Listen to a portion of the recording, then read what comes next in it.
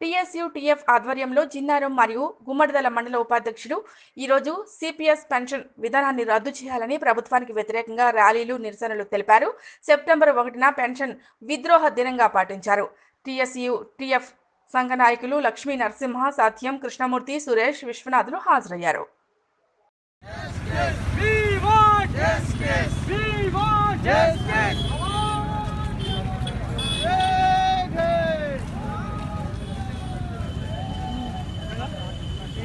Nein, nein, nein.